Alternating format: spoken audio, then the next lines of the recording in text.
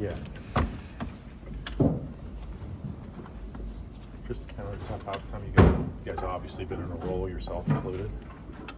Kind of tough to take.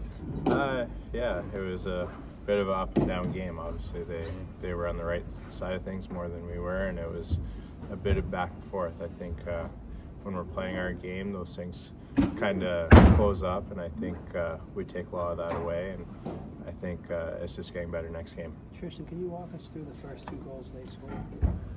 Uh, just a two on one. He's either got the shot or pass, and uh, I think it was Tanger slides, and he's able to shoot a five hole. And then, uh, The second one looked like it, it hit you. yeah, it's they just put a soft puck on net, and it's hard to. It's spinning like crazy, so it, it goes off my blocker, and I make another save, and it just ends up bouncing to the back post, and uh, I wasn't able to get there.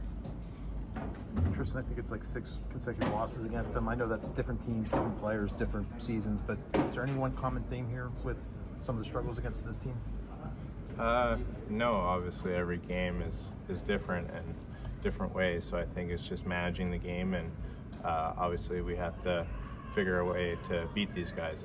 Uh, just losing six straight to them, that's not it's not good enough for us. And I think uh, we'll learn from it, and we'll be a better team from it.